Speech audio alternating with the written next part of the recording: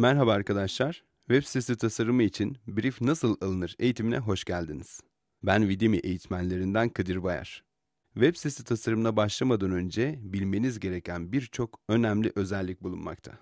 Müşterinin sektörünü bile düşündüğümüzde sadece sektör tanımlaması aslında çok geneldir. Zira salça üreticisi ile dondurma üreticisi gıda sektöründedir.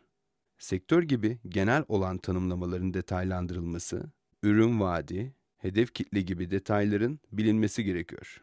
Peki bunu nasıl bir düzen veya içerikle öğrenebiliriz? Hemen her web sitesi için ayrı ayrı nasıl brief almanız gerektiğini bu eğitimle öğrenmiş olacaksınız. Videmi ile iyi öğrenmeler.